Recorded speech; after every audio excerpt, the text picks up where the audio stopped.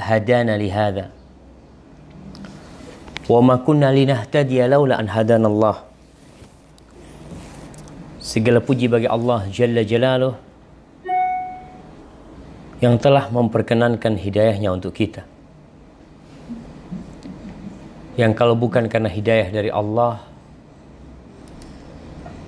tidak mungkin kita bisa merasakan nikmat Islam ini. Allah itu begitu baik sama kita. Nikmatnya tak pernah putus. Bahkan Allah mengatakan wa in ta'uddu ni'matallah la tuhsuha. Kalau kalian berusaha untuk menghitung nikmat yang Allah berikan, kalian tidak akan pernah bisa menghitungnya. Tapi terkadang yang nampak buat kita hanya kesusahan. Ketika kita sakit, kita baru sadar dengan nikmat sehat. Ketika banjir, kita baru menikmati. Ternyata ya Allah selama ini kita nikmat. Dan kalau dilihat, banjir dan nikmat tidak banjir. Banjirnya berapa hari sih? Sebulan? Nggak nyampe sepekan atau dua pekan. Tapi yang diingat sama orang tuh banjir tuh. Mereka lupa dengan nikmat yang selama berhari-hari, bertahun-tahun Allah memberikan nikmat. Oleh karena itu Nabi SAW mengajarkan sebuah doa kepada siapa? Kepada Mu'ad bin Jabal. Allahumma a'inni ala dzikrika wa syukrika wa husni ibadatik. Ya Allah bantulah hamba untuk senantiasa mengingatmu. Karena mengingat Allah ini menghilangkan segala kegelisahan dari hati. Mengingat Allah Jalla Jalaluh membuat segala kesusahan akan menjadi kemudahan. Karena kau tahu Allah yang punya nih. Gak perlu ribut. Ketika kita tahu motor bos kita, kita pakai kemudian rusak. Kita ingat bos anak ini orang baik, gak ada masalah udah. Bagaimana tatkala kita ingat dengan Rabbul Alamin yang dia sangat baik sama kita. Wa syukrika. Ini setiap akhir sholat kita disuruh berdoa atau di selesai sholat. Allahumma a'inni ala dzikrika wa syukrika. Bantulah hamba ya Allah untuk mensyukuri nikmat yang kau berikan. Karena sedikit dari hamba-hamba Allah yang pandai bersyukur. Mungkin bersyukur dengan lisan mudah. Tapi juga tidak. Artinya kita disyariatkan untuk banyak-banyak mengatakan Alhamdulillah, Alhamdulillah, Alhamdulillah.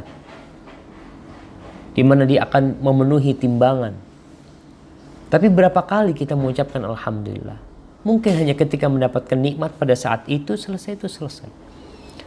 Padahal Nabi SAW senantiasa memuji Allah. Maka kita minta agar kita dibantu untuk bersyukur kepada Allah. Kemudian kita meminta bantuan kepada Allah. Wa ala husni ibadatik. Ala zikrika wa syukrika wa husni ibadatik agar kita baik dalam beribadah kepada Allah. Tidak hanya asal-asalan. Sebagian di antara kita nggak tahu tuh ibadahnya benar atau enggak. Yang penting ibadah. Tapi kita memohon kepada Allah agar kita bisa beribadah ikhlas sesuai dengan tuntunan Nabi yang diutusnya sallallahu alaihi wasallam. Semoga salawat dan salam senantiasa tercurahkan untuk baginda Nabi kita Muhammad alaihi salatu wasallam yang hari ini kita melanjutkan kajian kita tentang perjalanan hidup Nabi alaihi salatu wasallam. Kemarin kita berbincang tentang dakwah sirriyah. Dakwah sembunyi-sembunyi. Berlangsung sejak turunnya Ya ayyuhal muddathir qum fa'anthir. Nabi mulai berjalan. Berdakwah. Tapi dakwah itu perorangan. Dan tidak kepada semua orang. Di sini seorang pendakwah harus pandai-pandai membaca situasi dan kondisi. Pandai-pandai membaca orang. Orang ini kira-kira gimana? Karena salah pilih orang untuk menyampaikan agama Allah ini, yang ada adalah bumerang yang kembali menyerang dakwah itu sendiri. Kita perlu husnudzon sama orang, naam. Tapi kita juga bisa melihat karakter seseorang. Cinta dan kebencian dia kepada sesuatu lewat raut wajahnya.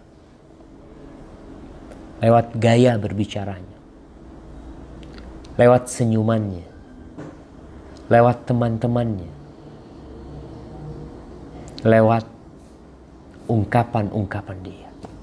Kalau sekarang lebih mudah lagi mau tahu orang tuh tinggal lihat tuh di Facebook umpamanya, di Twitter, di medsos dia tuh kayak apa tuh orangnya, udah ketahuan. Nabi Alaihissalam melan, melangsungkan dakwah dengan cara sirri ini selama tiga tahun. Setelah tiga tahun, Allah turunkan firman-Nya untuk merubah sikap. Tidak lagi berdakwah sembunyi-sembunyi tapi dakwah dengan terang-terangan. Yang artinya bersiap diri untuk menghadapi badai. Bersiap diri untuk menghadapi apa yang pernah dikatakan oleh Waraqah bin Naufal ketika Waraqah mengatakan kepada Nabi alaihi salatu wasallam ma min ahadin Jikta bimithli ma ataita bihi illa udia au udhi. Tidak ada satupun yang membawa agama seperti yang kau bawa. Wahyu seperti yang kau terima. Melainkan dia akan dimusuhi oleh kaumnya. Tiga tahun beliau tidak merasakan itu. Dimusuhi belum. Tapi setelah tiga tahun. Setelah terang-terangan. Artinya terang-terangan ini beliau berdakwah kepada orang yang menerima dan orang yang tidak menerima. Pokoknya semuanya harus disampaikan kepadanya. Baik, silakan dibaca. Dari dari kitab fikih sirah bilang hikmah dari sejarah kehidupan karya Profesor Dr. Zaid bin Suaranya kurang kenceng kayaknya. D dakwah jahriyah terang-terangan. Tiga tahun berlalu masa dakwah rahasia dan perorangan. Dalam masalah itulah terkumpul kelompok orang-orang beriman yang memenuhi seruan dakwah Rasulullah Shallallahu Alaihi Wasallam. Kemudian setelah itu turunlah perintah untuk berdakwah secara terang, secara terang-terangan dan diperintahkan untuk mengumumkan bahwa dia adalah nabi yang diutus. Walaupun demikian, beliau tetap merahasiakan nama-nama sahabatnya, termasuk merahasiakan bagaimana ceritanya mereka menjadi pengikutnya. Semua itu tetap dirahasiakan demi menjaga keamanan mereka dari siksaan orang-orang kafir. Masya Allah. Nabi SAW ketika berdakwah beliau tidak menyinggung bahwasanya sudah ada yang beriman. Sudah ada yang percaya. Fulan, fulan, fulan, fulan. Lah tidak hikmah tatkala seorang pendakwah kemudian menyebutkan pengikutnya yang akan menjadi sasaran siksaan orang-orang. Oh, kau sudah ada yang ikut. Siapa aja yang ikut? Oh, kayaknya fulan, fulan, fulan. Dirasakan oleh Nabi wassalam. Yang jelas Nabi wasallam hendak mengajak kaumnya terang-terangan. Perkara sudah ada yang menerima, ya tentunya ada. Yang beliau inginkan nanti adalah dalam dakwah terang-terangan itu ada yang menerima secara terang-terangan. Sehingga mereka akan menjadi pendukung dakwah. Baik. Lanjutkan. Ayat yang pertama diturunkan untuk misi dakwah terang-terangan adalah firman Allah Ta'ala wa anzir ashiratakal aqrabin dan berilah peringatan kepada kerabat-kerabatmu yang terdekat. Masya Allah. kita lihat di sini ya surat Asy-Syu'ara ayat 214 ini ayat yang menjadi start dakwah terang-terangan. Wa anzir ashiratakal aqrabin kalau di Al-Muddathir Ya ayyuhal muddathir qum fa'anzir. Qum fa'anzir. Bangun kau kasih peringatan. Tapi tidak ditentukan siapa. Tapi di sini Allah sebutkan targetnya. Wa anzir ashiratakal aqrabi. Kepada kerabat-kerabatmu yang terdekat. Ada ayat lain yang nanti disebutkan oleh Syekh. Bahwasanya firman Allah fasda bima tu'mar wa a'rid 'anil musyrikin. Itu termasuk ayat yang di surah Al-Hijr ya. Ayat 94 95 Allah mengatakan, fasda bima tu'mar wa a'rid 'anil musyrikin. Maka sampaikanlah olehmu secara terang-terangan segala apa yang diperintahkan dan berpalinglah dari orang-orang musyrik. Itu juga perintah agar Nabi alaihissalam berdakwah secara terang-terangan ketika ayat ini turun. Apa yang dilakukan oleh Nabi alaihissalatu wassalam. Di dalam kitab ini dijelaskan. Karena cukup panjang ya. Jelaskan kita akan masuk kepada hikmah. Anak akan berusaha untuk meringkaskan apa yang dilakukan oleh Nabi alaihissalatu wassalam ketika ayat ini turun. Beliau mengumpulkan keluarganya, kerabatnya. Siapa kerabat terdekat Nabi alaihissalatu wassalam? Ya tentunya ada kerabat dalam, ada kerabat luar. Dan orang-orang Quraisy adalah kerabat Nabi alaihissalam. Tapi ada yang satu nasab sama Nabi nyambung ke Abdul Manaf umpamanya. Maka Nabi alaihissalam naik ke Bukit Sofa. Lalu beliau memanggil mengatakan wa sabaha wa sabaha dia panggil. Panggilan wa sabaha itu adalah panggilan gaya orang-orang musyrikin untuk mengumpulkan orang di Bukit Sofa. Kenapa di Bukit Sofa? Ya ketika orang hendak menyampaikan sesuatu dia butuh tempat yang tinggi. Ada tempat kumpul-kumpulnya orang Quraisy. Mungkin di situ tidak ada tempat yang tinggi sehingga Nabi mengumpulkan mereka di sofa. Dan sofa termasuk daerah yang ramai dilewatin orang. Sehingga Nabi memanggil mereka di sana dengan ucapan wasabaha lalu berkumpullah orang-orang keluarganya beliau. Disebutkan yang berkumpul itu sampai 30 orang dari keluarganya. Lalu Nabi memanggil Quraisy memanggil mereka dengan nama yang umum kemudian mengkhususkan mereka. Beliau mengatakan ya Bani Ka'ab bin Lu'ay Anqidhu anfusakum minan nar. Beliau mengatakan, wahai anak keturunan Ka'ab bin Lu'ay. Selamatkan diri kalian dari api neraka. Lalu beliau mengatakan, ya bani Murrah bin Ka'ab. Ka'ab bin Lu'ay ini Murrah bin Ka'ab. Anqidhu anfusakum minan nar. Ya bani Abdi Syams. Anqidhu anfusakum minan nar. Ya Bani Abdi Manaf, anqidhu anfusakum minan nar. Ya Bani Hashim. Mulai ini mengerucut ke kabilah Nabi yang dekat. Ya Bani Hashim, anqidhu anfusakum minan nar. Lalu turun yang lebih dekat lagi. Ya Bani Abdul Muttalib. Abdul Muttalib kakek Nabi alaihissalatu wassalam. Berarti yang beliau panggil ini adalah paman-pamannya dan anak-anak pamannya. Sepupu-sepupu beliau. Beliau mengatakan, Ya Bani Abdul Muttalib, anqidhu anfusakum minan nar. Sudah. Beliau lebih mengerucut lagi kepada anaknya.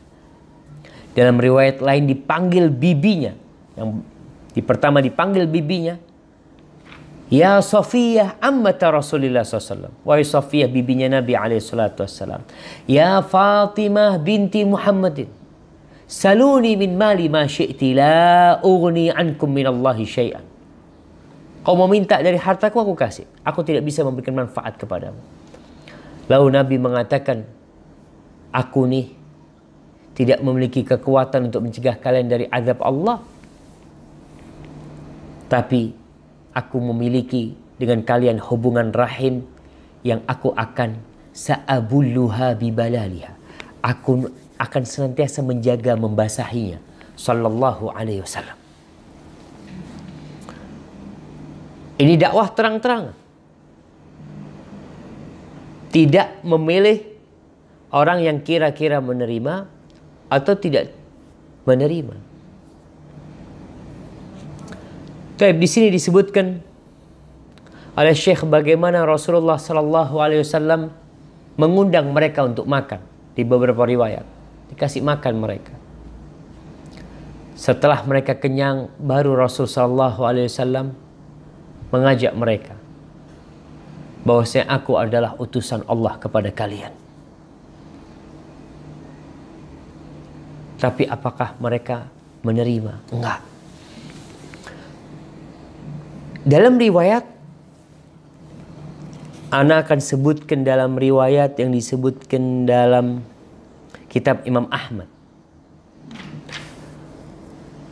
Ini tidak disebutkan oleh Syekh. Karena ada sesuatu yang ada tambahan ilmu di sini. Ketika turun wa anzir ashiratakal aqrabin jama'an Nabi sallallahu alaihi wasallam ahla baiti. Nabi kumpulkan keluarganya. Penjelasannya mereka dikasih makan fajtama'a thalathun. Mereka berkumpul 30 orang. Fa'akalu wa syaribu. Mereka makan dan minum. Dan disebutkan dalam riwayat yang disebutkan oleh Syekh bahwasanya mereka dikasih makanan dari satu wadah kecil, mud, satu mud yang cukup untuk semua dikasih minuman dari satu tempat air yang padahal orang-orang itu kalau minum mungkin minum air yang banyak sekali tapi mereka melihat satu wadah air cukup buat mereka semuanya mereka melihat sebuah mukjizat ketika itu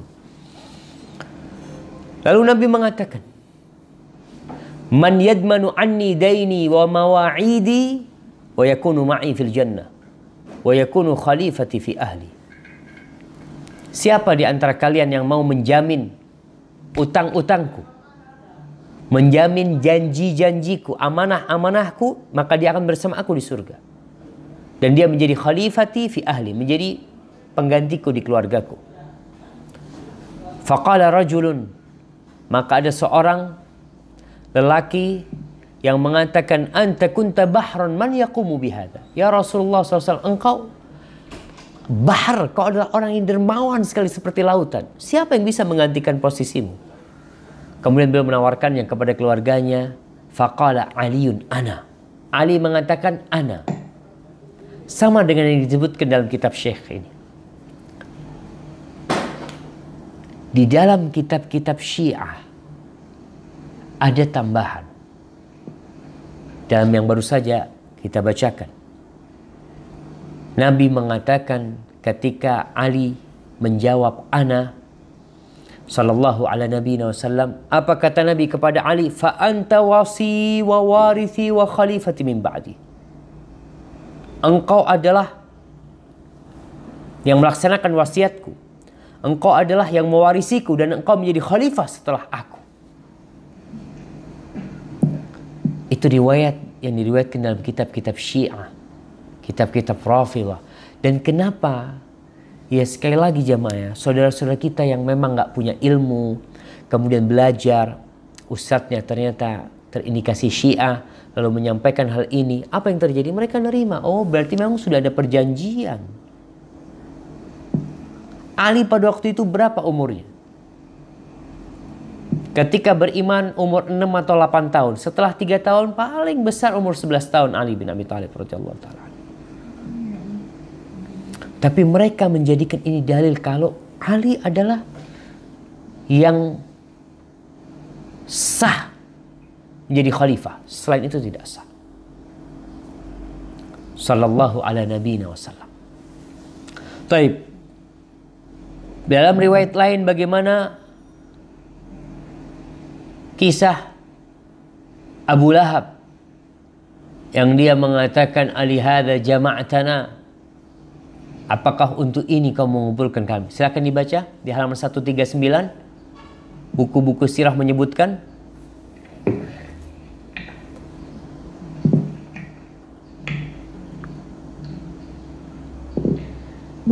Buku-buku sirah menyebutkan bahwa Rasulullah Shallallahu Alaihi Wasallam memanggil kerabat dekatnya dari Banu Hashim dan Banu Abdul Muthalib dalam sebuah undangan pesta. Di antaranya yang hadir adalah Abu Lahab. Abu Lahab terlebih dahulu berbicara sebelum Rasulullah Shallallahu Alaihi Wasallam berbicara.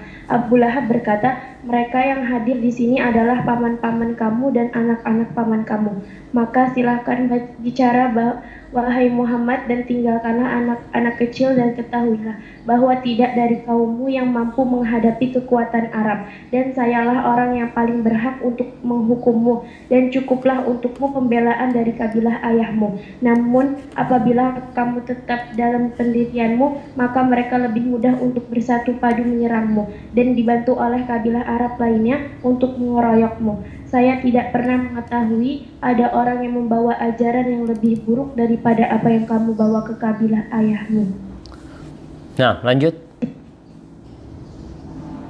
Rasulullah Shallallahu Alaihi Wasallam terdiam saja dan tidak berkata sepatah kata pun dalam majelis itu.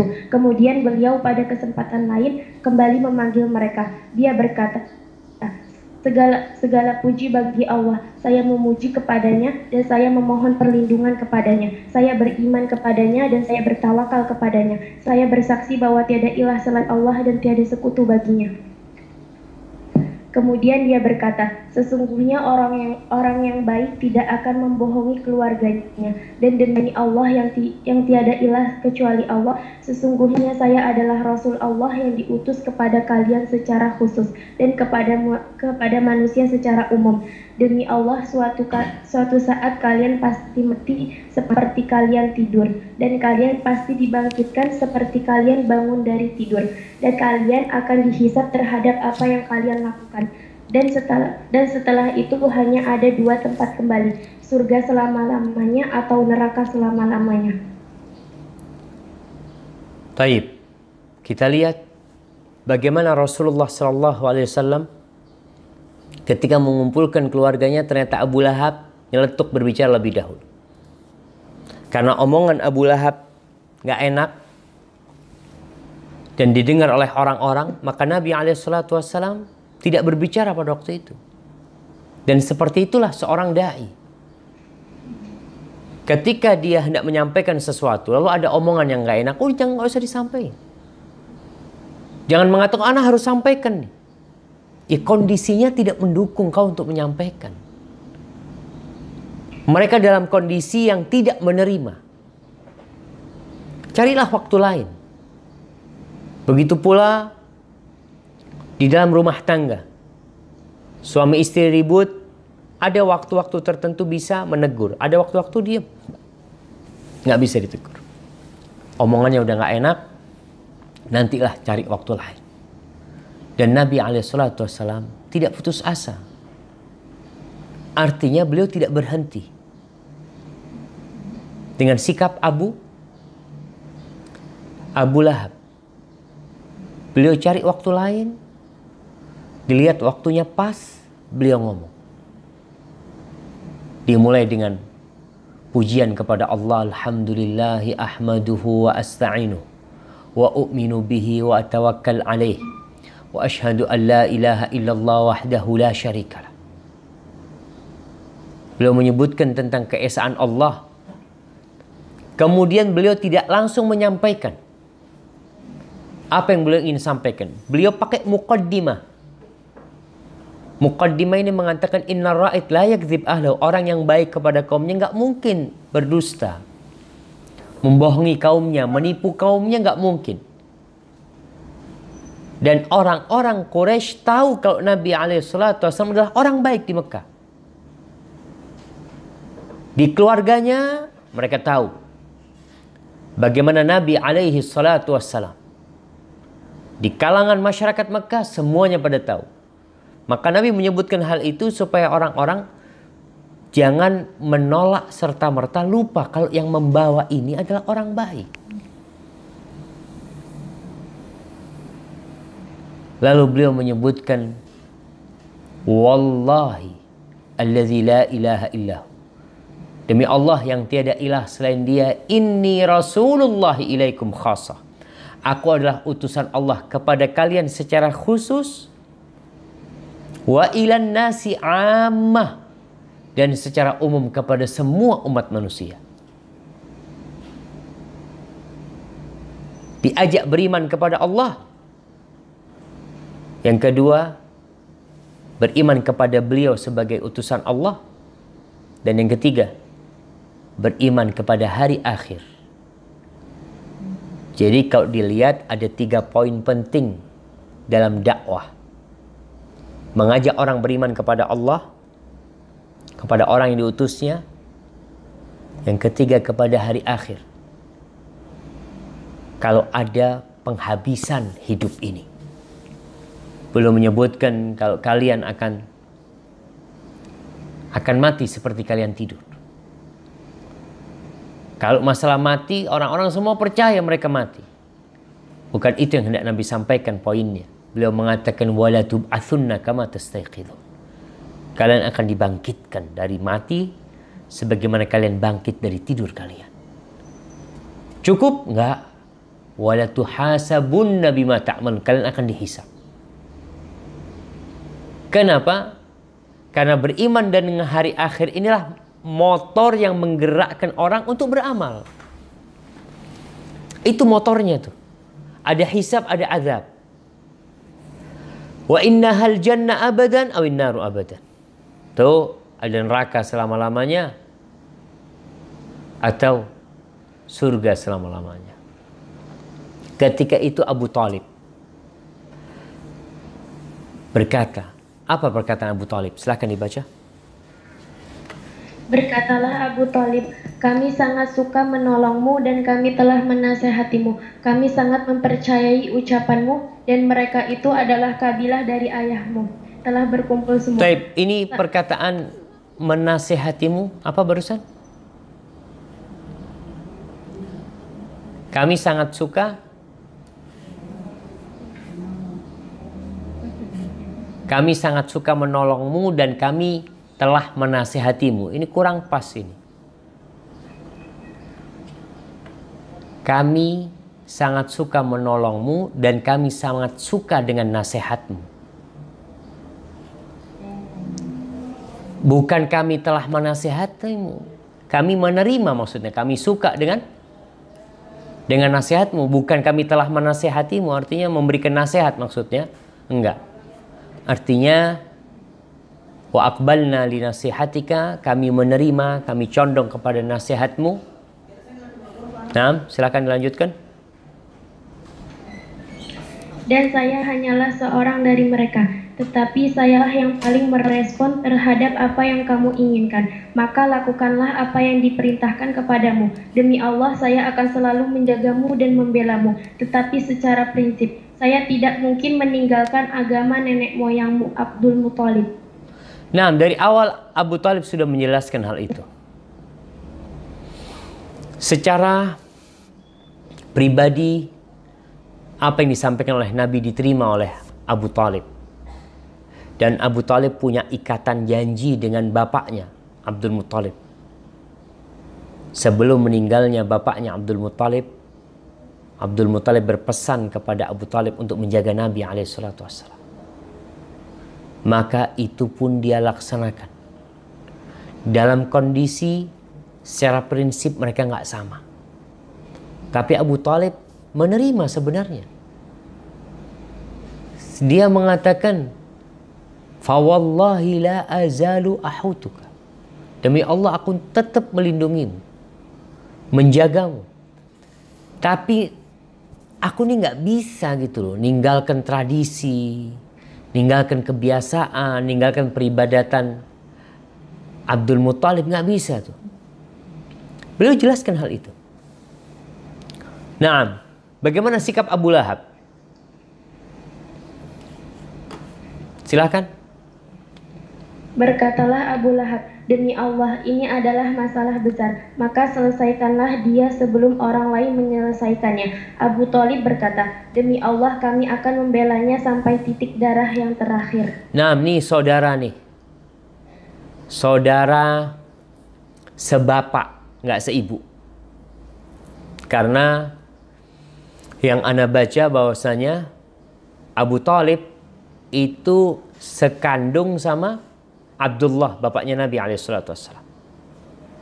Satu bapak, satu ibu. Kalau sama Abu Lahab itu satu bapak. Abu Lahab sikapnya mengatakan hadhi wallahi sau'ah. Ini demi Allah adalah satu kehinaan. Sau'ah itu kemaluan jemaah artinya. Satu kehinaan. Khudhu ala yadayhi. Kalian tahan nih orang ini. Jangan sampai berdakwah sebelum orang lain nanti yang menahannya. Tapi apa jawab Abu Talib? Kita lihat bagaimana kakak beradik. Ketika beda prinsip, dia mengatakan, Wallahi la namna'annahu ma baqina. Demi Allah, kita akan melindungi dia selama kita hidup. Makanya para jemaah bisa melihat ketika Abu Talib meninggal, orang-orang kafir bisa menyakiti Nabi, mengganggu Nabi yang tidak bisa mereka lakukan ketika Abu Talib hidup. Taib. Di sini ada riwayat Ibnu Abbas. Silakan dibaca.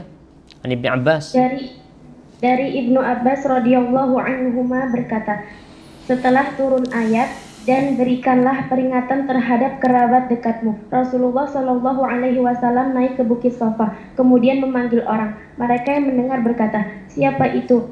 Hingga akhirnya mereka berkumpul.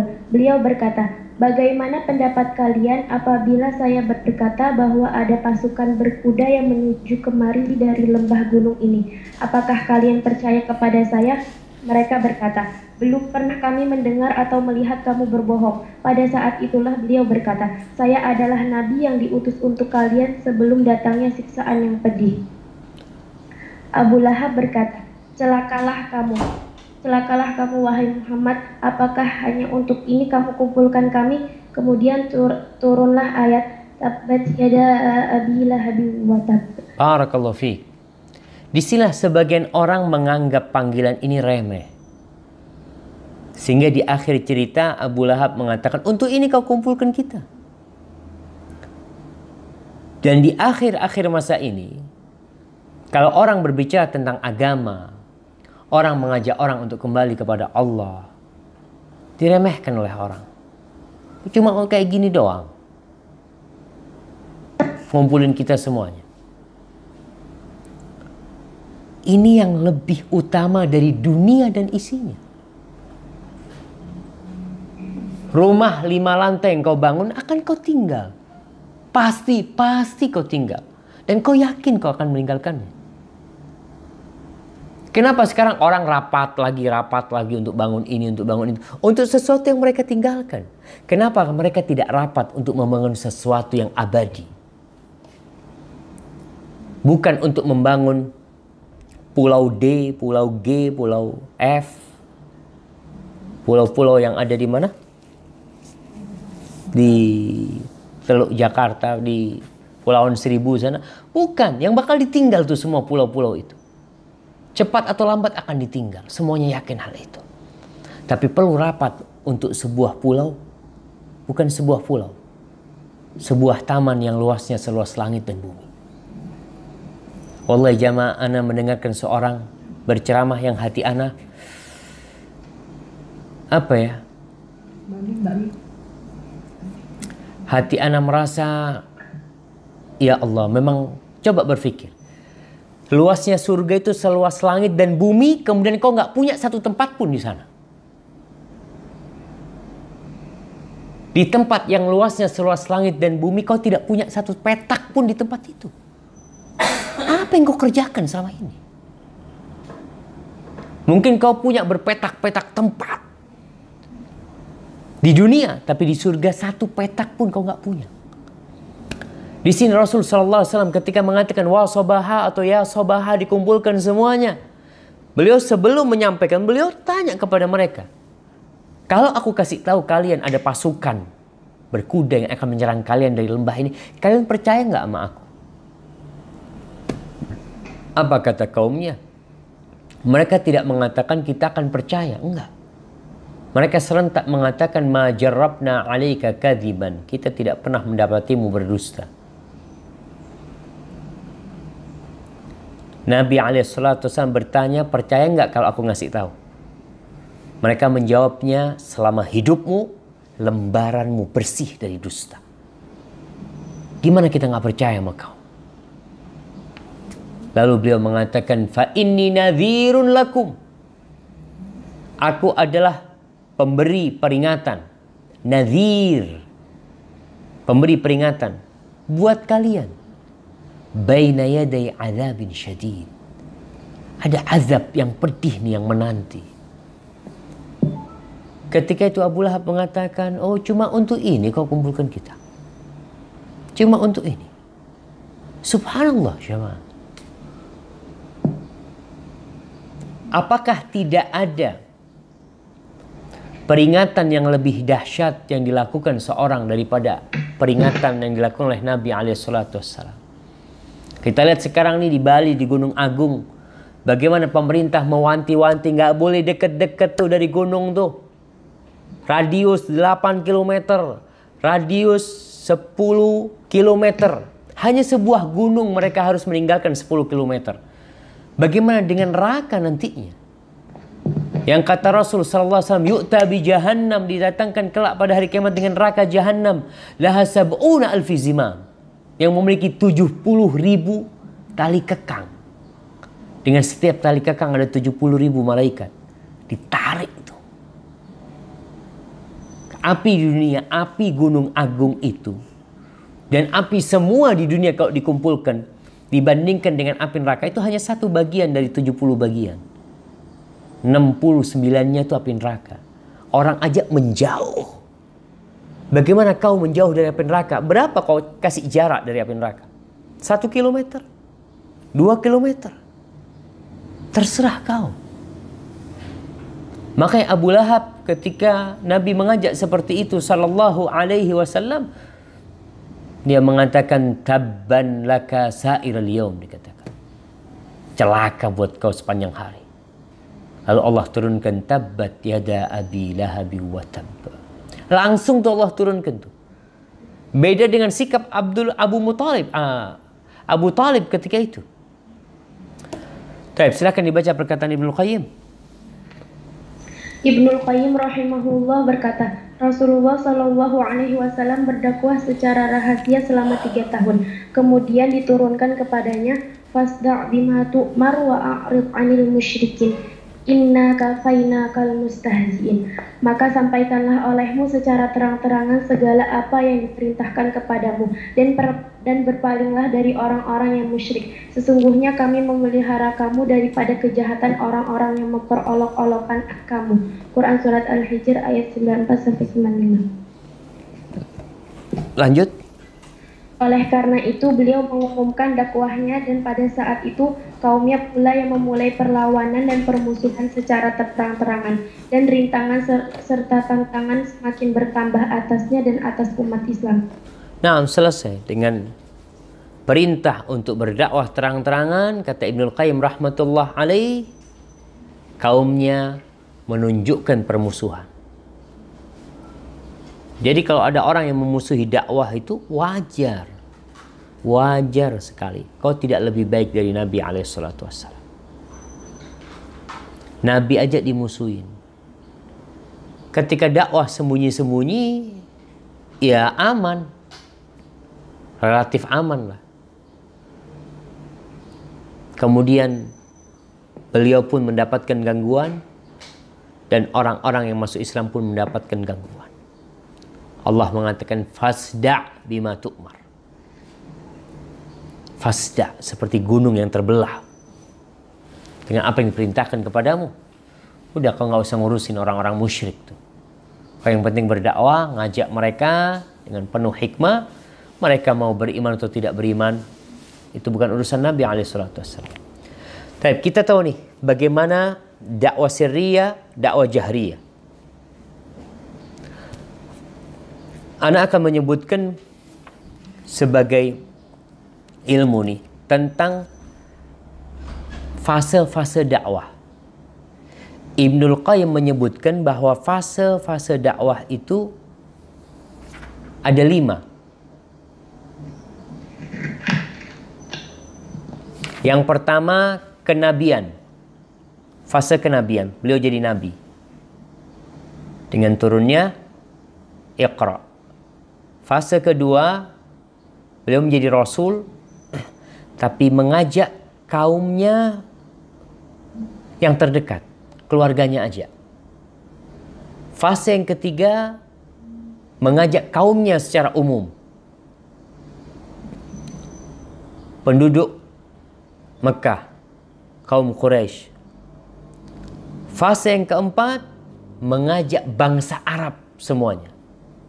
Mendakwain bangsa Arab semuanya. Kemudian fase yang kelima beliau mengajak semua yang sampai kepadanya dakwah baik itu manusia atau bangsa jin sampai akhir zaman. Jadi yang pertama kenabian, yang kedua keluarga, yang ketiga kaumnya, yang keempat bangsa Arab, yang kelima adalah semuanya. Adapun fase dakwah Nabi alaihissalam dari perjalanan hidup Nabi yang kita sudah lewatin adalah dakwah sirriyah, dakwah secara sembunyi-sembunyi. Yang kedua dakwah jahriyah. Dakwah jahriyah ini memiliki beberapa proses. Yang pertama dakwah jahriyah tanpa berperang. Itu selama di Mekah sampai hijrah. Yang ketiga dakwah jahriyah dengan perintah untuk memerangi orang-orang yang memerangi. Mereka tidak memulai peperangan, tapi kalau ada yang memerangi, mereka memerangi. Dan yang keempat, atau yang ketiga dari dakwah jahriyah itu. Jadi dakwah terbagi dua, dakwah sirriyah, dakwah jahriyah. Dakwah jahriyah ada tiga. Yang pertama dakwah jahriyah sambil menahan diri dari berperang. Yang kedua dakwah jahriyah memerangi orang-orang yang memerangi itu ketika sudah sampai di Medina hijrah. Yang ketiga adalah dakwah jahriyah memerangi semua yang menghadang jalan dakwah ini. Baik, kita sekarang akan mengambil hikmah dari dakwah jahriyah ini. Dakwah jahriyah yang dilarang untuk berperang. Membela diri, menolong orang yang disiksa. Kita akan lihat bagaimana Rasul SAW melihat keluarganya Ammar bin Yasir disiksa, beliau tidak bisa bantuin. Nggak bisa tuh megangin Abu Jahal umpamanya. Belum. Belum waktunya. Kalau itu terjadi maka akan terjadi konfrontasi nanti dan habis umat Islam. Maka tidak ada memerangi. Dan Nabi SAW tidak nyuruh sahabatnya, coba kau malam hari datengin rumahnya Abu Jahal, kau bakar rumahnya Abu Jahal. Nggak ada. Kau lihat tuh patung-patung di Mekah, hancurin tuh patung-patung. Nggak ada. Nabi SAW 13 tahun di Mekah tawaf, di Ka'bah itu ada 360 patung bayangkan. Beliau tawaf di situ. Dan tidak bisa berbuat apa-apa. Kenapa? Itulah fase dakwah yang dilakukan oleh Nabi SAW. Baik, kita mulai dengan pelajaran pertama.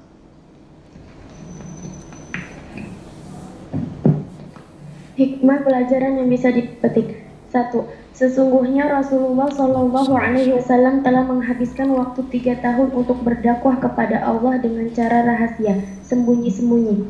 Dan setelah itu dia mengumumkan dakwahnya, yang dimulai dari keluarga besarnya, kemudian yang lainnya. Tetapi dakwah rahasia atau terang-terangan semuanya berpegang pada satu tujuan yaitu untuk menyatukan umat manusia dengan kalimat tauhid, yakni hati tidak tergantung kecuali hanya kepada Allah seseorang tidak akan mendapatkan manfaat hanya dengan kehebatan kabilahnya ataupun keluarganya. Lanjut. Semua ini adalah bentuk pengarahan manusia untuk hanya untuk hanya mengesahkan Allah, beribadah hanya untuk Allah dan itu adalah masalah yang prin yang prinsip karena masuk ke dalam area akidah yang maksudnya adalah menetapkan hak dia hanya milik Allah. Tidak ada yang disembah kecuali Allah. Tidak ada yang ditaati kecuali Allah dan tidak ada sekutu baginya. Itu semua disimpulkan dari dari firman Allah. Kum fa'angzir, bangkitlah dan berikanlah peringatan dan wa anzir ashiratakal aqrabin berikanlah peringatan kepada kerabat dekatmu dan fastaqima tu'mar wa a'rif 'anil musyrikin dan lakukanlah apa yang telah diperintahkan kepadamu dan berpalinglah dari orang-orang musyrik semua itu adalah ayat-ayat tentang dakwah yang menjelaskan bahwa masalah yang paling asasi yang paling pertama Rasulullah Shallallahu Alaihi Wasallam dakwahkan kepadanya adalah masalah akidah dan itu dan itulah inti ajaran rasul-rasul sebelumnya. Barakallahu fi. Nah, kita lihat nih jemaah. Rasulullah sallallahu alaihi wasallam mengajak kepada tauhid. Yang pertama didakwahkan adalah tauhid. Karena terus terang di negeri kita dan di banyak negeri. Banyak manusia-manusia yang mulai meremehkan akidah. Meremehkan agama. Seakan-akan agama sesuatu yang tidak boleh mencampuri kehidupan manusia. Tidak boleh mencampuri kehidupan politik. Agama tidak boleh mencampuri kehidupan negara Subhanallah.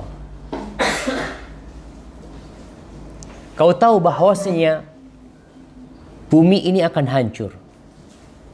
Indonesia akan hilang. Akan hilang. Dan kau akan mati. Dan kita lihat pejabat-pejabat negara yang mati. Ketika mereka dikubur, mereka tidak tidak akan ditanya Kau orang mana? Orang Indonesia, orang Amerika? Nggak ada. Hanya ada tiga pertanyaan nantinya. Man Rabbuk?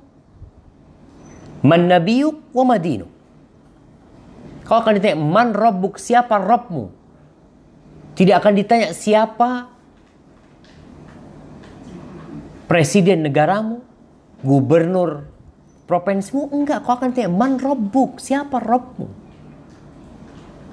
maka umat Islam harus sadar bahwa masalah agama ini masalah itu dunia wal akhirah masalah dunia dan akhirat kita hidup di dunia dengan agama kita Islam memiliki aturan yang harus ditaati. Yang aturan itu tidak berubah. La tabdila li kalimatillah. Nggak ada. Kalau aturan-aturan yang dibikin manusia terus akan berubah dan terus akan dirubah ketika tidak sesuai atau ketika ganti orang yang menjalankan pemerintahan akan berubah itu kita melihat. Tapi nahna muslim ke mana pun kau berpijak atau di mana pun kau berpijak kau pindah umpamanya nggak suka hidup di Indonesia anak mau hidup di Malaysia kau ganti nasionalisme berangkat ke Malaysia tapi kau tetap muslim Nggak akan berubah. Kau pindah ke negeri lainnya, tetap muslim. Karena sejatinya, innal ardolillah, bumi ini milik Allah. Bukan milik siapa-siapa. Makanya Nabi SAW yang pertama didakwahkan itu masalah iman, masalah akidah. Beliau disuruh mengajak orang agar tidak bergantung kepada siapa. Disebutkan di sini Syekh menyebutkan tentang kabilahnya, bangsanya, tidak akan bermanfaat buat kau sama sekali.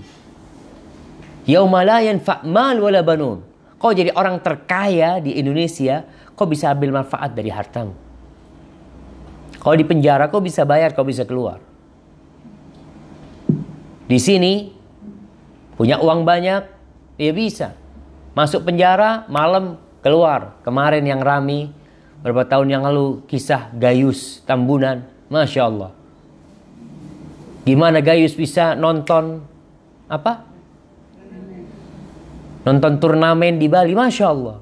Cuma sekelas Gayus mah Kita bisa bayangkan tuh. Bagaimana kondisi negeri kita orang punya duit itu bisa ke mana-mana.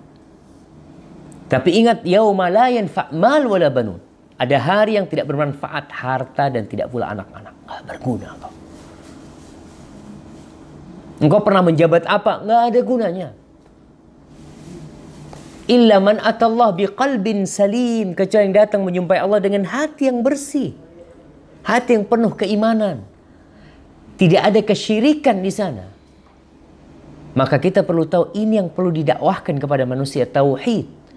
Mengingatkan mereka bahwa pencipta langit dan bumi ini Allah dan berhak disembah hanyalah Allah. Disebutkan di sini qadiyatur rusul, semua utusan Allah, semuanya. Sejak Nabi Nuh alaihissalam sampai Nabi kita Muhammad alaihissalam mereka diajak atau mereka disuruh untuk mengajak kepada la ilaha illallah. Dan tidak berubah. Berapa ribu tahun umur dunia ini? atau berapa ratus ribu tahun umur dunia ini. Dari sejak awal dakwah mereka adalah la ilaha illallah. Mengajak manusia untuk menafikan segala sesembahan selain Allah dan mengisbatkannya menetapkannya hanya untuk Allah semata. Tapi kalau perjalanan hidup manusia berubah-ubah, mereka punya falsafat berubah lagi, berubah lagi, berubah lagi, tapi enggak. Jadi sejak Nabi Nuh, Nabi Adam alaihissalam manusia pertama sampai manusia terakhir. Allah ini mengatakan wa ma arsalna min qablika min rasul illa nuhi ilaih annahu la ilaha illa ana fa'budun. Di surah Al-Anbiya ayat 25 Allah mengatakan dan tidaklah kami mengutus sebelummu siapa pun utusan yang dikirim itu melainkan kita mewahyukan kepada mereka agar menyeru kepada la ilaha illa ana. Tidak ada yang berhak disembah kecuali ana kata Allah. Kecuali aku kata Allah. Fa'budun maka kau beribadahlah hanya kepada aku ahibati fillah wallahi jama hadhihi qadiyah ini permasalahan utama kita sebenarnya perpecahan yang terjadi karena tidak kembali kepada tauhid.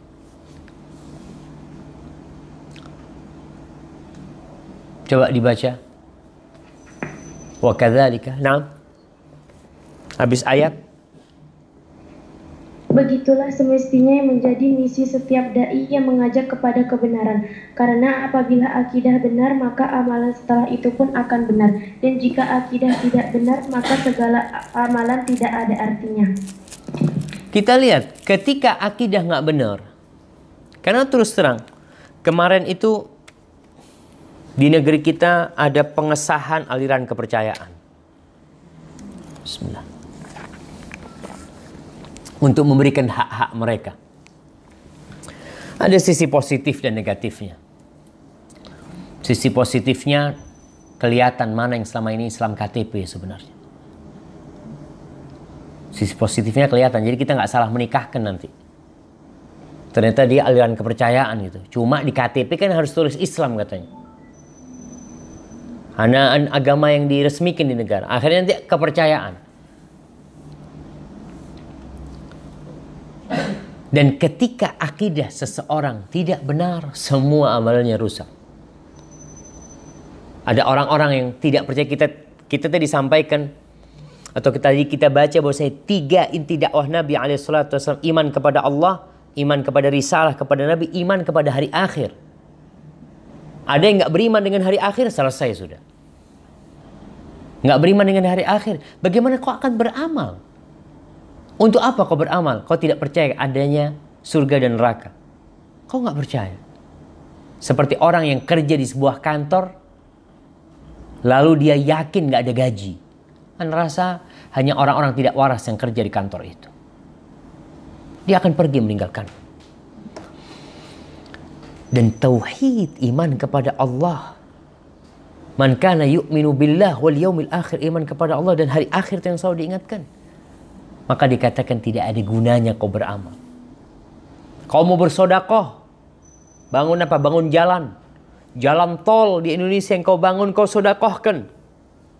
Ini sodakoh buat umat manusia yang ada di Indonesia. La qimah. Nggak ada harganya, nggak ada nilainya. Kenapa? Apabila tidak ada tauhid. Wa qadimna ila ma amilu min amalin faja'alnahu haba'an manthura. Kami datang ke amalan-amalan mereka datang ke eh, kau pernah nyumbang ini, kau pernah melakukan ini. Ada satu orang kafir nyumbang memang satu triliun, nyumbang apa, didatangkan semua nih. Ini kan amalmu semua, lalu Allah jadikan debu yang berterbangan. Kau nggak beriman sama Allah. Kau nggak percaya dan tidak mentauhidkan Allah bahwa yang ngasih kau harta yang menyebabkan tanganmu bisa mengeluarkan duit dari dompet dan memberikannya kepada fakir miskin, kau mengatakan bukan Allah atau kau katakan Allah itu dua, tiga, empat, lima, sepuluh. Ah, nggak ada gunanya sama. Allah ingat tadi yang kita sampaikan, jangan sampai kita jamaah di tempat yang luasnya seluas langit dan bumi, kita nggak punya satu petak pun tempat di situ.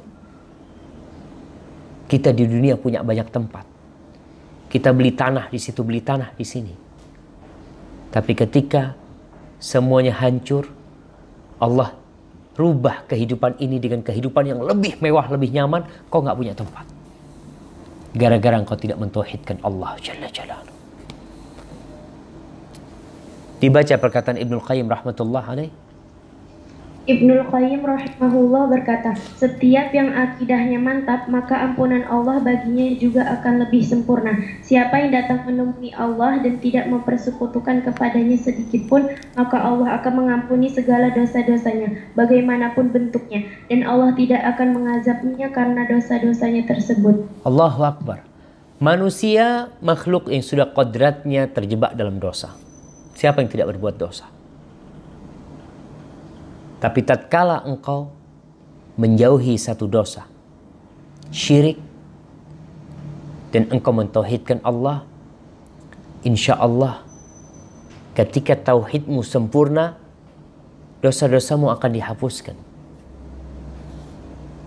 Allah Jalla Jalla mengatakan dalam sebuah hadis qudsi, "Ya Adam, law ataitani bi qurabil ardi khati'atan Thumma ataitani la tusyriku bi syai'an la ataituka bi kurabiha magfiratan. Wahai anak Adam, andai kata engkau datang menjumpai aku dengan hampir sepenuh bumi ini dosa. Tapi kau datang tidak melakukan kesyirikan. Kau tetap menjaga tauhidmu. Aku akan datang kepadamu dengan hampir sepenuh bumi itu ampunan buat engkau. Ini apa yang diucapkan oleh Ibnu Qayyim agar kita menjaga tauhid kita. Dan semakin kuat tauhid seseorang, semakin mampu dia meninggalkan dosa. Selain Allah akan mengampuni dosa-dosanya. Ingat dengan hadithul bitaqah. Ketika orang itu datang pada hari kiamat dengan dosa di satu daun timbangan Allah maddal basar sepanjang mata memandang dosa semuanya. Dan orang ini meyakini aku sudah hancur habis sudah kata dia. Kemudian yuqalu laha innaka la tudzlamul yaum. Kau tidak akan dizalimi pada hari ini. Maka dikeluarkan satu satu kartu. Kartu ini kartu tauhid jemaah. La ilaha illallah di sana. Yang tidak pernah tercorengkan dengan kesyirikan sama sekali. Fayudha'u fi kiffah ditaruh tuh di lembaran. Di di daun timbangan satunya. Malat bihinna la ilaha illallah. Semuanya itu kalah jamaah dengan la ilaha illallah. Langit yang tujuh lapis dan bumi yang tujuh lapis. Apabila ada di satu timbangan dan la ilaha illallah satu timbangan kan jumplang akan lebih berat la ilaha illallah. Maka ingat kita perlu memperbaiki tauhid kita jangan meremehkan urusan tauhid. Jangan meremehkan kesyirikan. Kenapa? Nabi Ibrahim aja takut. Nabi Ibrahim takut, kita nggak takut. Karena kita tidak tahu dengan nilai tauhid dan bahaya kesyirikan. Taib dan Ibnu Qayyim berkata,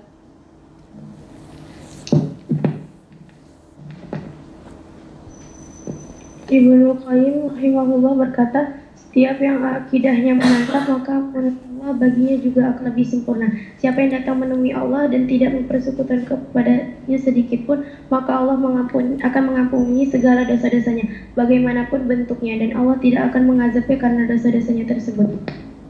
Nggak, lanjutkan.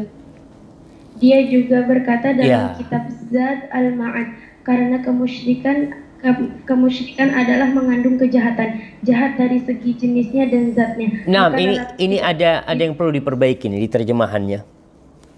Jadi Ibnu Qayyim mengatakan walamma kana al-musyrik khabithal unsur khabithal zat. Ketika orang musyrik itu mengandung unsur yang buruk dan secara zatnya juga buruk itu jadi bukan kesyirikan ya. Ibnu Qayyim mengatakan musyrik. Nah.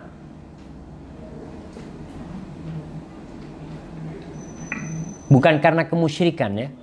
Tolong diperbaikin supaya lebih jelas apa yang diinginkan oleh Ibnu Qayyim rahmatullah alaih. Orang orang musyrik ketika orang musyrik adalah mengandung kejahatan bukan mengandung kejahatan mengandung unsur. ketika orang musyrik itu mengandung unsur unsur keburukan jahat buruk dari segi jenisnya dan zatnya. Mak- maka neraka tidak bisa membersihkannya. Bahkan seandainya dikeluarkan dari neraka maka jenis jenis orang musyrik itu akan kem- kembali seperti semula Maka Sama- orang musyrik itu akan kembali jadi kalau bahasa Arabnya itu khabith. Khabith itu menjijikkan ya, buruk sekali. Maka orang musyrik itu akan kembali jahat, kembali buruk. Baik. maka orang musyrik itu akan kembali seperti semula. Sama halnya dengan seekor anjing yang masuk ke dalam laut akan akan tetap sama bila telah di, keluar dari laut. Oleh karena itu Allah mengharamkan bagi orang musyrik untuk masuk ke dalam surga. Jamil jiddan. Iya, anjing tuh najis. Sama seperti orang musyrik najisnya. Innamal musyrikuna najis. Orang-orang musyrik itu najis kata Allah. Jadi orang musyrik dimasukkan ke neraka, dikeluarkan, tetap dia nggak akan pernah bersih. Tetap najis. Karena memang secara dia mengandung unsur buruk dan zatnya juga udah buruk gitu loh. Jadi anjing kalau dicuci di laut umpamanya yang nyuci 10 orang di laut dicuci. Cemplungin keluarin, cemplungin keluarin. Apakah ketika keluar dari laut anjing itu jadi suci? Nggak najis lagi. Tetap najis dia. Seperti itulah orang musyrik. Ibnu Qayyim mengisyaratkan bahwasanya semua umat Nabi Muhammad SAW akan masuk surga walaupun harus melalui neraka. Mereka dibersihkan, dicuci neraka selama mereka bertauhid, selama mereka tidak pernah melakukan kesyirikan, walaupun mereka mampir ke neraka, ma'udzubillahi minan nar. Karena dosa-dosa yang lain ya, dia dibersihkan dari dosa-dosa itu, kemudian zatnya jadi bersih. Baru bisa masuk surga. Tapi kalau orang musyrik nggak bisa sudah. Dia mengandung unsur kejahatan tadi dan zatnya itu sudah jahat. Zatnya, wujud aslinya itu sudah jahat. Seperti dicontohkan seperti anjing oleh Ibnul Qayyim rahmatullah alaih. Makanya Allah mengharamkan surga buat orang-orang musyrik. Allah na'udzubillahi minasyirik jamaah. Kemudian Syekh memberikan wasiat. Ini pelajaran dari dari awal dakwah Nabi kepada tauhid SAW dan kenapa itu yang ditekankan oleh Nabi SAW. Beliau mengatakan, "Naqulu likulli ilallah." Kami berkata kami sampaikan kepada setiap orang yang mengajak kepada Allah. Alaika tauhid. Yang perlu kau mulailah berdakwah dengan tauhid. Cuma perlu difahamin bahwa saya berdakwah memulai dengan tauhid bukan maksudnya memakai kitab tauhid. Ini orang-orang kadang-kala salah faham. Ketika dikatakan dakwah tauhid, nggak usah kau nggak baca kitab tauhid Ustaz. Bukan itu maksudnya. Kapan ada kitab tauhid? Apakah ada di masa Rasul SAW? Nggak ada. Apakah ada di masa para sahabat? Nggak ada. Apakah ada di masa tabi'in? Nggak ada. Maksudnya dakwah kepada tauhid, ajarlah manusia agar mentauhidkan Allah Subhanahu wa taala. Lewat mana? Lewat mana aja. Dakwah tauhid lewat doa. Umpamanya seorang ustadz ngajarkan doa uh, Sayyidul Istighfar atau doa setelah sholat atau seorang ustadz menafsirkan surat Al-Fatihah dia tekankan tauhid dalam Al-Fatihah tersebut. Iya karena wa iya karena nasta'in. Seorang ustadz ngajarkan fikih ngajarkan muamalah tetap di situ diajak kepada tauhid. Artinya tauhid tidak boleh dilupakan mulai dengan tauhid kalau memperbaiki manusia dengan tauhid ada orang yang tidak memperbaiki tauhid. Dia memulai umpamanya dengan kepemimpinan. Dakwahnya itu harus kudeta. Dakwahnya itu harus menyampai kepada kedudukan jabatan. Baru kita bisa dakwah. Lah. Dan ada sebagian sekte yang berpendapat bahwasanya yang terpenting Subhanallah jemaah. Ucapan salah seorang penulis ya yang mereka mengatakan ahamul muhimmat yang paling penting dari terpenting ini adalah al-imamah kepemimpinan mereka mengatakan bahwasanya supaya supaya jelas anak akan bacakan ya Allahu Akbar. Karena ucapan ini sangat menakutkan sekali sebenarnya. Tunggu sebentar.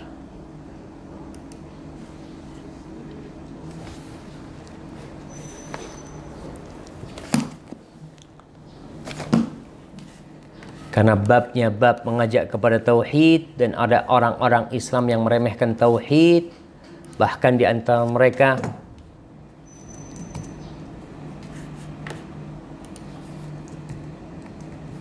Masya Allah kok. Kok hilang ya mak?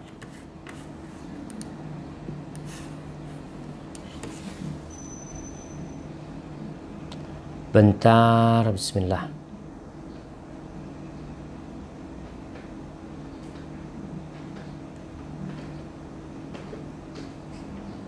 Nah.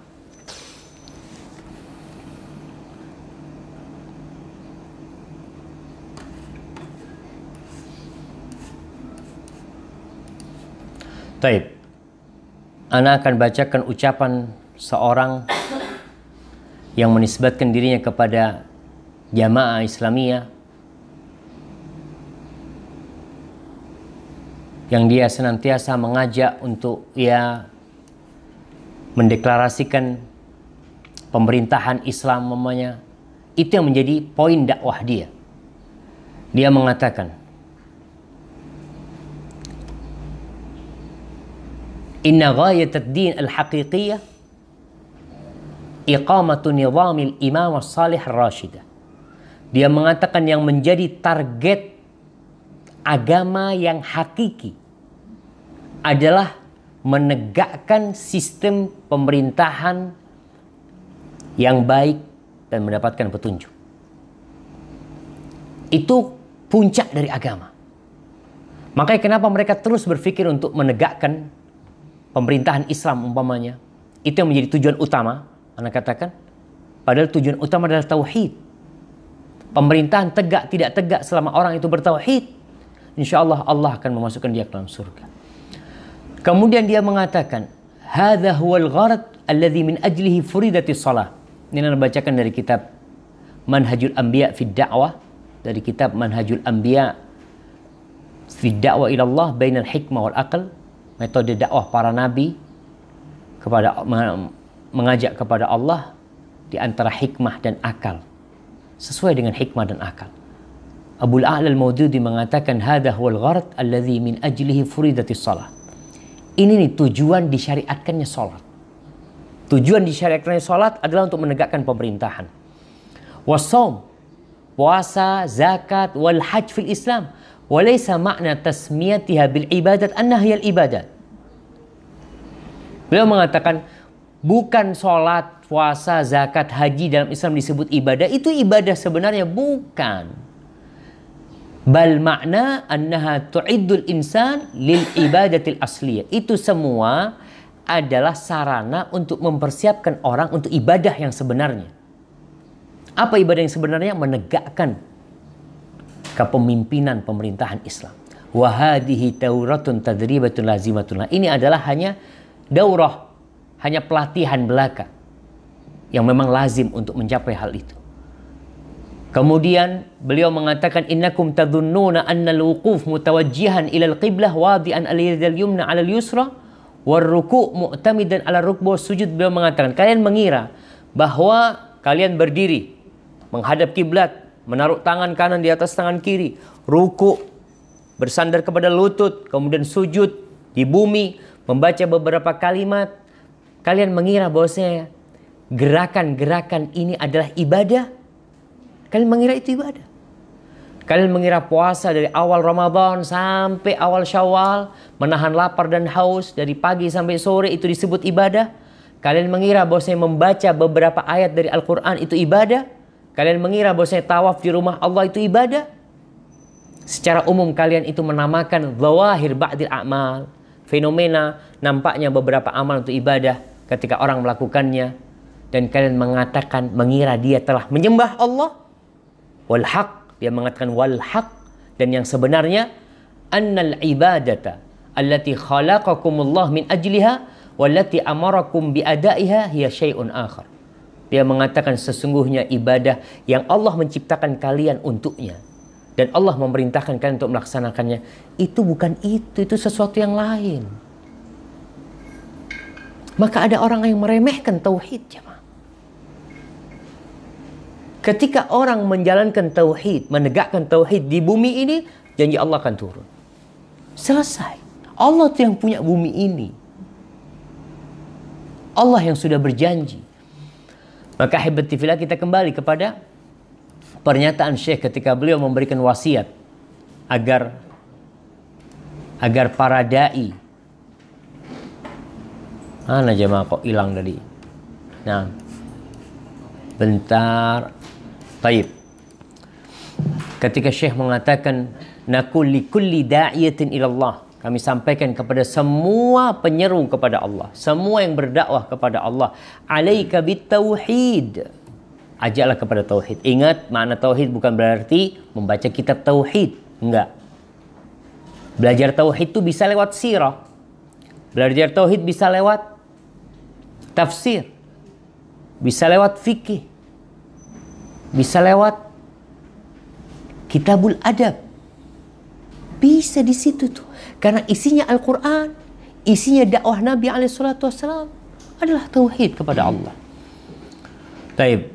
Wa aslih aqaidan nas. Kalian perbaiki akidah manusia. Yang mereka masih punya keyakinan yang nggak benar.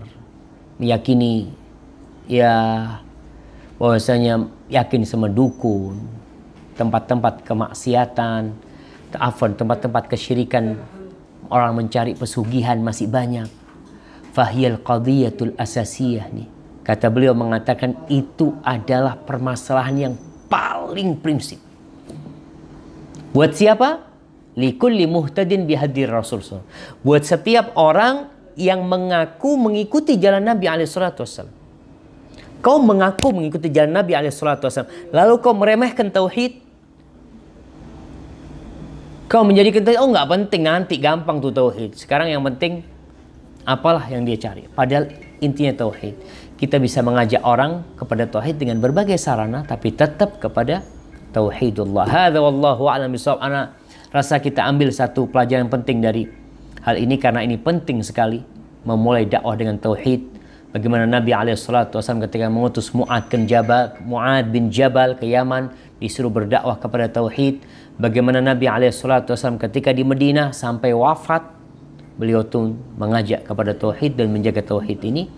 Hadza wallahu a'lam bissawab wa sallallahu ala nabiyyina Muhammad wa ala alihi wasallam. Kalau ada pertanyaan silahkan.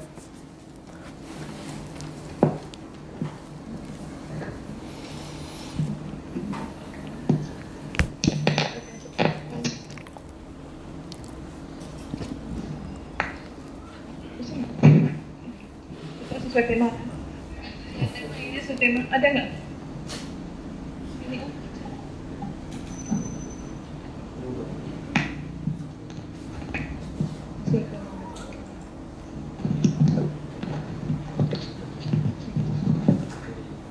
Assalamualaikum warahmatullahi wabarakatuh Ustaz Waalaikumsalam warahmatullahi wabarakatuh. Ya ada yang mau saya tanyakan uh, sehubungan dengan uh, masalah tauhid tauhid. Uh, ya terkadang kan iman kita up and down ya, naik turun. Itu bagaimana caranya untuk kita bisa konsisten dengan uh, tauhid kita? Uh, kemudian pertanyaan yang kedua, uh, ini bagaimana cara menasehati orang-orang uh, yang dikatakan musyrik, misalnya uh, seperti uh, budaya kita ini kan ada uh, istilah kejawen ya. Nah itu bagaimana ya kita uh, menasehati orang-orang yang sudah terlanjur uh, menganut budaya, budaya tersebut yang akhirnya rancu disatu padukan dengan uh, Islam begitu. Mohon nasihatnya Ustaz. Terima kasih. Assalamualaikum warahmatullahi wabarakatuh. Waalaikumsalam warahmatullahi wabarakatuh. Masya Allah pertanyaan yang menarik sekali nih jamaah berkaitan dengan menjaga keimanan kita yang iman itu naik turun tapi bagaimana supaya tauhid kita ini tidak tersentuh? Kalau iman lagi down bagaimana jangan sampai kita melakukan kesyirikan? Karena ada orang-orang yang ketika imannya down bangkrut tukunya langsung cari dukun. Langsung ke tempat-tempat pesugihan. Lagi punya masalah sama suaminya, langsung cari ilmu pelet. Bagaimana suaminya bisa bisa tunduk sama dia. Itu terjadi. Bagaimana kita menjaga tauhid kita ketika iman kita turun tapi tetap tauhid ini tetap konsisten yang kita jaga. Makanya perlu ilmu sebenarnya. Jadi yang paling utama sebenarnya adalah Al-Qur'anul Karim karena itu sumber ilmu. Allah mengatakan wa kadzalika auhayna ilaika ruhan min amrin ma kunta tadri mal kitab walal iman. Begitulah kami wahyukan kepadamu ruh. Allah sebut ruh kehidupan Quran ini. Yang sebelumnya kau itu nggak tahu apakah Alkitab apa itu iman. Makanya dengan kita membaca Quranul Karim iman kita akan terjaga. Kita akan tahu ternyata ini, ini syirik ini nggak boleh nih sehingga kita akan menjaga diri. Orang sekarang susah hidupnya mencuri, itu dia dosa besar. Tapi orang susah hidupnya dia lari ke gunung cari pesugihan, dia melakukan kesyirikan. Apa yang membedakan sekarang fulan mencuri? Karena fulan anak takut kalau syirik naudzubillah minasyirik umumnya. Maka untuk menjaga konsistensi bagaimana tauhid kita selamat dari itu, kita perlu punya ilmu kemudian doa bagaimana Nabi Ibrahim alaihissalam yang beliau mengatakan wajnubni wa baniya an na'budal asnam. Ya Allah jauhkan hamba dan anak keturunan dari menyembah patung-patung. Doa Nabi alaihissalatu wassalam Allahumma inni a'udzubika an usyrika bika syai'an a'lamu. Ya Allah aku berlindung kepadamu berbuat syirik yang aku tahu berlindung sama Allah. Karena jangan sampai kita punya ilmu tapi tetap aja melakukan kesyirikan. Dan tidak sedikit orang-orang yang punya ilmu wa wa astaghfiruka dan aku minta ampun kalau aku nggak tahu itu kesyirikan. Kemudian juga dia berusaha untuk mengingat Allah Subhanahu wa taala, mengingat kebesaran Allah. Di sini kita tumbuhkan tauhid kita. Sehingga Kalau kita lihat kebanyakan kesyirikan itu adalah bergantung kepada selain Allah. Mencari harapan kepada selain Allah. Meminta kepada selain Allah. Melakukan peribadatan untuk selain Allah. Karena kau nggak tahu ama Allah. Kalau kau selalu hadirkan Allah. Qulillahumma malikal mulk. Allah malikal mulk. Allah al-azim. Allah al-qadir. Allah al-hakim. Allah al-alim. Ah. InsyaAllah tauhid kita akan terjaga dengan terus beristighfar. Ya. Mohon ampun kepada Allah Subhanahu wa taala. Taib. Adapun yang kedua tadi Kok lupa nih jemaah? Kejawen Ustaz. Oh iya. Iya berkaitan dengan tradisi kejawen. Berulang kali kita sampaikan bahwa Islam itu bukan agama yang bertentangan atau yang antipati dengan tradisi. Enggak. Tradisi-tradisi itu di di apa namanya disaring sama Islam. Sebagaimana kita tahu lah, tradisi-tradisi di negeri kita ini tidak semuanya baik. Ada tradisi dulu di Bali tradisinya orang-orang itu tidak pakai atasan. Mereka hanya pakai pakai apa namanya perempuan-perempuannya pakai kain itu, pakai sewek ya bahasa Jawanya. Nah, apakah tradisi itu dilestarikan sekarang? Sehingga semua orang Bali masuk Bali harus pakai pakai itu. Enggak. Mereka tahu ini ini nggak baik nih. Dirubah sama mereka. Kemudian di beberapa negeri umpamanya ada daerah yang mereka masih telanjang. Apakah tradisi itu dilestarikan, menjaga kearifan lokal sehingga DPRD-nya semua pakai pakaian adat?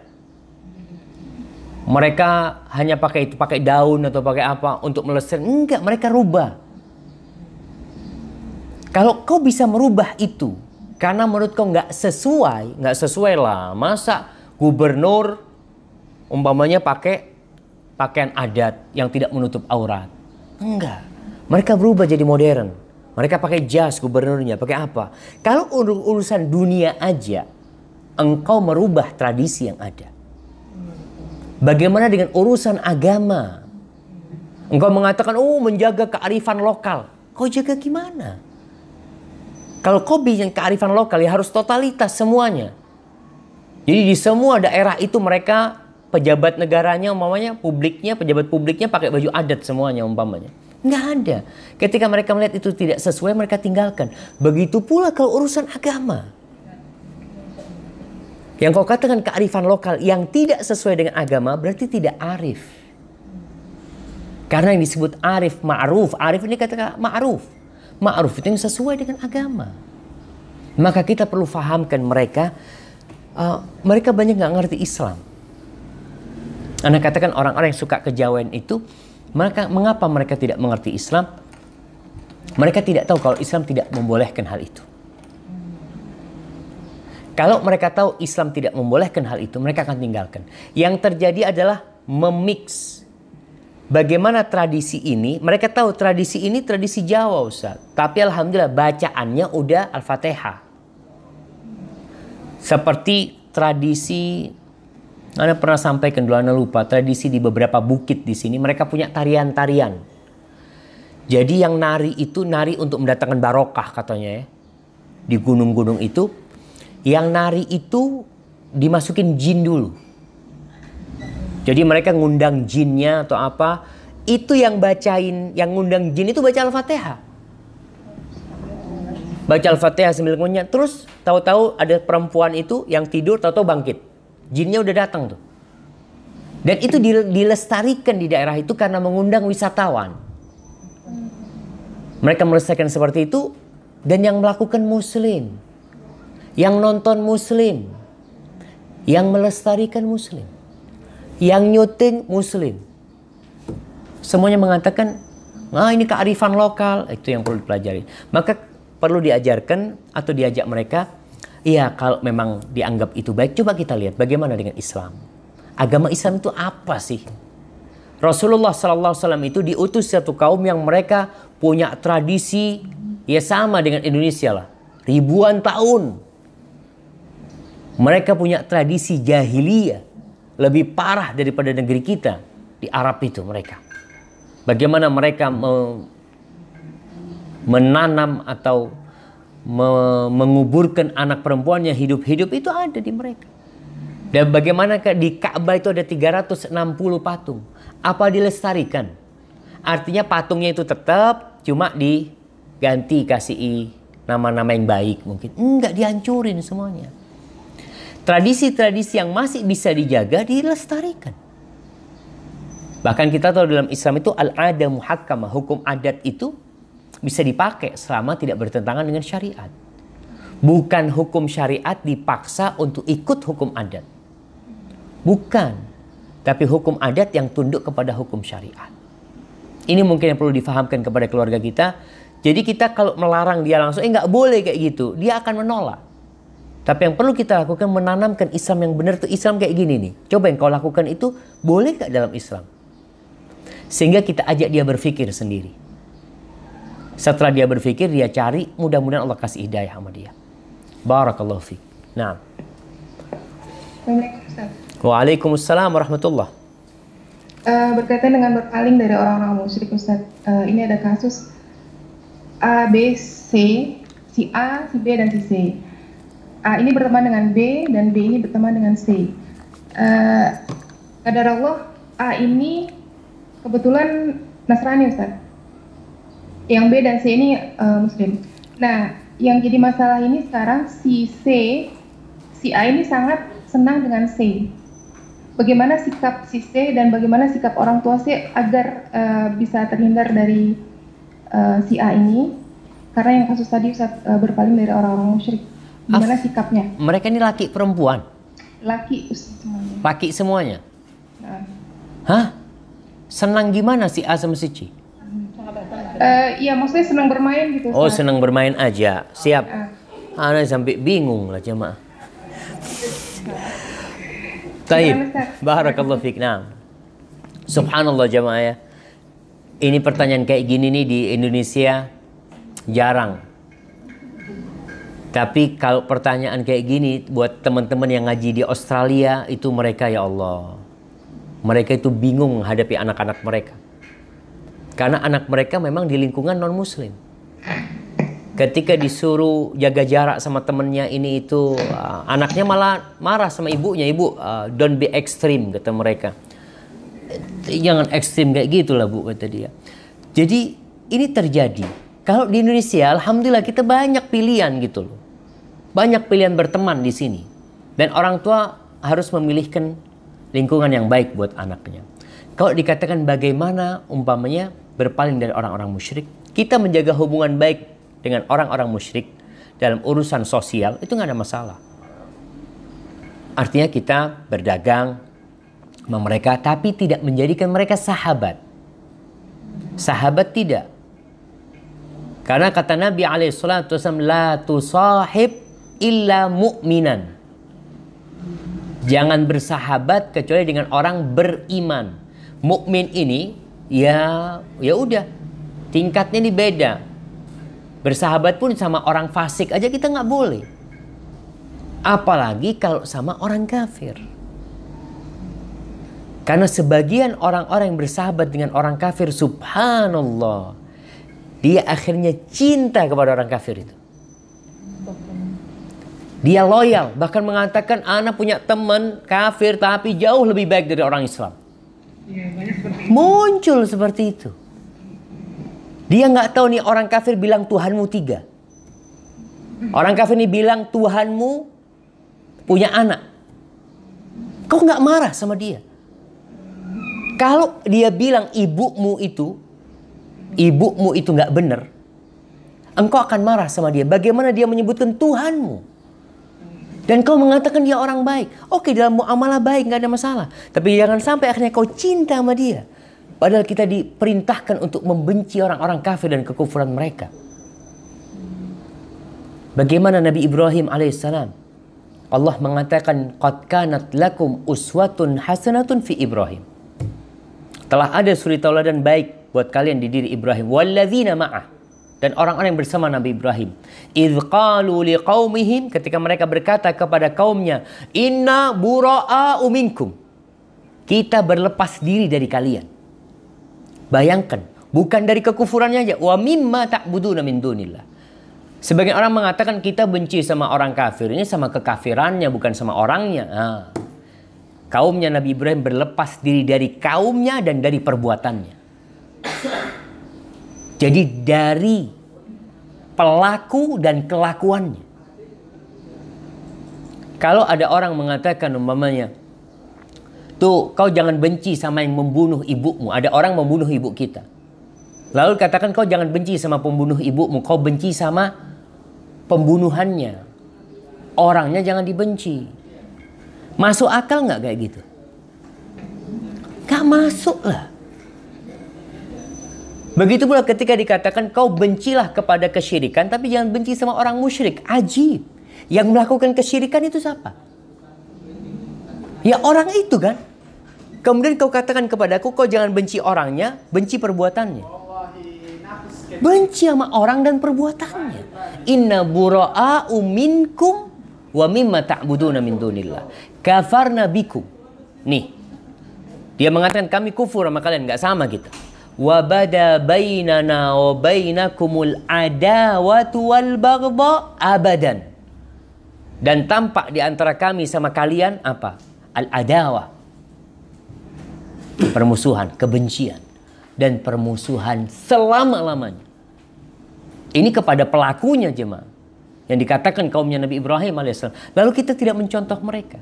Maka bagaimana sekarang sikap orang tua ketika mereka bersahabat? Ya kita yang perlu arahkan, cari cari teman yang lain.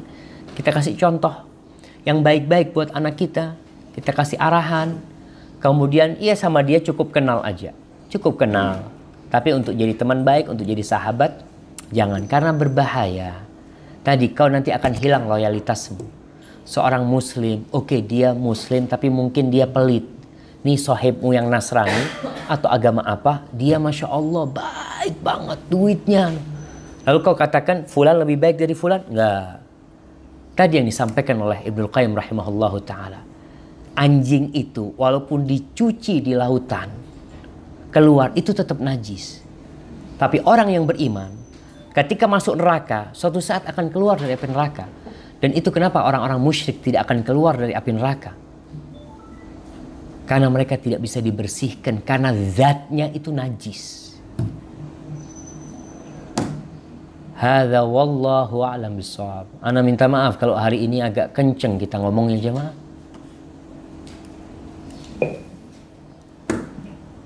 Taib. Ustaz. Ya. Ustaz. Waalaikumsalam warahmatullah. Uh, mengenai Ustaz bilang, uh, Ustaz sampaikan tadi bahwa uh, jika terjadi pembunuhan maka kita pun benci akan per, apa uh, pelakunya gitu ya Ustaz ya. Hmm. Ini kebetulan lagi tinggal Ustaz um, mengenai uh, apa namanya kejadiannya tahun yang lalu ya. Uh, tapi baru di sidangnya kemarin gitu ya. Uh, sidang akhirnya yang intinya uh, uh, apa namanya uh, orang tuanya bapaknya uh, memaafkan pelaku pembunuhan karena uh, namanya mungkin karena uh, apa namanya uh, apakah mungkin kan uh, apa kecintaan ya, beliau sama Allah karena beliau tahu bahwa Allah Maha Pengampun gitu ya Ustadz ya apalagi dialah gitu loh sehingga uh, dia pun mengatakan bahwa dia tidak benci uh, apa, pelakunya tapi yang dia benci adalah setan yang telah apa namanya merasuki dia untuk melakukan Iya. Baik, barakallahu fiik Masya Allah. Gini jamaah, berkaitan dengan pembunuh. Kalau pembunuh itu bertobat, kebencian kita jadi berubah. Kita jadi cinta sama dia. Karena dia sudah kembali kepada Allah, dia menyesali perbuatannya. Maka ya kadang kala terhadap satu orang itu kumpul cinta dan benci. Kita benci kemaksiatan dia, tapi kita cinta dengan keimanan dia. Tapi ingat, kebencian dan cinta ini kepada pelaku ini juga gitu loh. Di diri dia ada ada iman dan ada maksiat. Kita cinta keimanan dia, maka cinta kita, kita cinta kepada orangnya juga. Kita benci kepada kemaksiatannya, kita benci juga kepada pelakunya kan. Ah, paham ini. Jadi kalau tadi anak nggak benci dengan pembunuhnya, kau benci sama pembunuhnya. Tapi kalau dia bertobat, Kau cinta sama dia. Iya Ustaz, dia Alhamdulillah udah tobat. Alhamdulillah, kau maafkan dia. Bahkan Allah anjurkan kita memaafkan. Jadi memang ada pembunuh-pembunuh yang kita dianjurkan memaafkan. Artinya ketika dia membunuh dalam kondisi dia ya tidak merencanakan, tidak ini itu. Aslinya dia itu orang baik Ustaz. Cuma karena tadi disebutkan kerasukan setan pada waktu itu sehingga dia dia gelap mata. Maka di sini kita maafkan dia. Kita benci kepada perbuatan dia membunuh, orangnya sekarang udah tobat. Tapi kalau orangnya nggak tobat, pantaskah kita tidak membenci orangnya? Tidak pantas. Nggak pantas, kau harus benci. Dia nggak tobat, malah bangga, anak-anak bangga bunuh, bisa bunuh dia. Kau tetap cinta. Anda yakin nggak akan nggak akan ngomong kita benci sama perbuatannya, karena orang itu masih bangga dengan perbuatannya. Tapi kalau orang itu menyesali perbuatannya, maka kita kita maafkan dia, karena dia udah jadi orang baik gitu loh. Kiranya bisa difahami? Ustaz. Baik, Satu lagi boleh Ustaz? baik terakhir. Eh, titipan pertanyaan Ustaz. Salahkah jika kita sedih, kasihan bahkan menangis terhadap paman Rasulullah Shallallahu Alaihi Wasallam Abu Talib? Seperti kita ketahui bahwa bagaimana Abu Talib membela dan melindungi bahkan menyayangi Rasulullah Shallallahu Alaihi Wasallam ketika kaum Quraisy hendak menyakiti dan membunuh kekasih Allah ini. Akan tetapi hingga wafatnya Abu Talib tidak mau bersyahadah. Ini membuat sedih dan kasihan. Uh, ibroh apa yang ada uh, dari tidak maunya Abu Talib menerima Islam? Subhanallah, iya barakallah fiik ya. Subhanallah jamaah. Ya, kita bagaimana nggak sedih ya? Nabi bersedih pamannya nggak mau masuk Islam. Nabi sedih. Beliau datang jumpain pamannya sampai di akhir hayatnya. Beliau tidak pernah putus asa untuk mengajak pamannya. Beliau tidak mengatakan, aku sudah bersamamu 10 tahun paman. Kau udah ngeliat.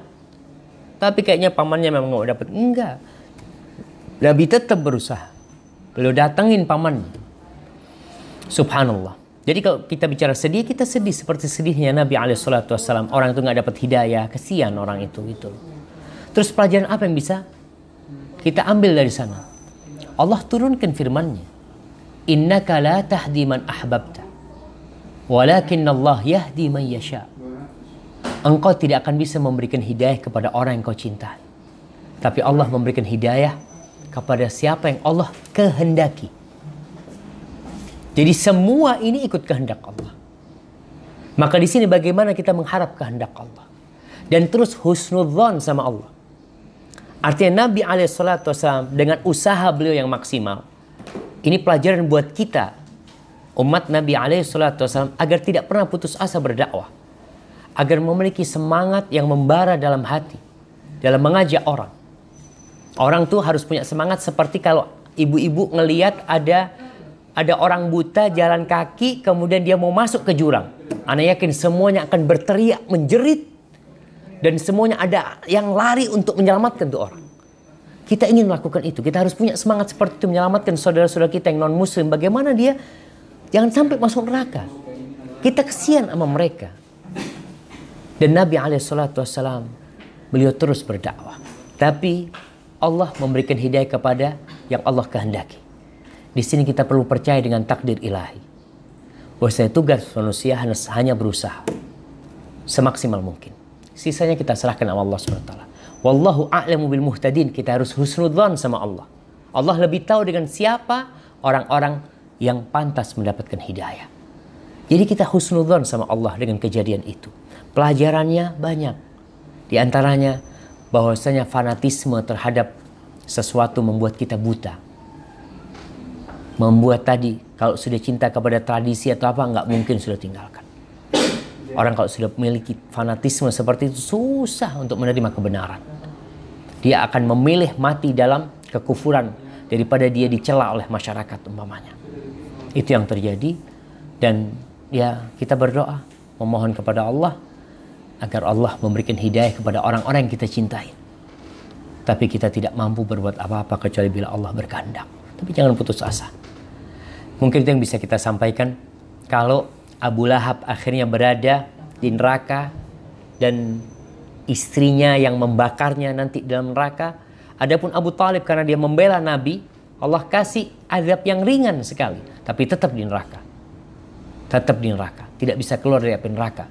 Karena apa yang dikatakan oleh Ibnu Qayyim tadi, Ya karena kesyirikan orang musyrik itu nggak bisa dibersihkan. Jadi nggak bisa Abu Talib dibersihkan di neraka kemudian dikeluarkan nggak bisa karena musyrik. Maka fi dhahdah minan nar. Dia berada di uh, di atasnya neraka bukan di atasnya, di permukaan neraka. Kakinya dibakar atau pakai terompah dari api neraka, otaknya mendidih ya. Tapi itu azab yang ringan dibandingkan azabnya Abu Lahab. Dikarenakan Abu Talib membela Nabi alaihissalatu wassalam dan Nabi pun memberikan syafaat itu kepada Abu Talib tapi tidak bisa mengeluarkannya dari api neraka. Hadza wallahu a'lam bisawab. Itu yang bisa kita kaji pada kesempatan kali ini. Mohon maaf kalau ada salah bicara, salah kalimat itu dari ana yang benar hanya dari Allah Jalla Jalaluh. Sampai berjumpa kembali. Assalamualaikum warahmatullahi wabarakatuh.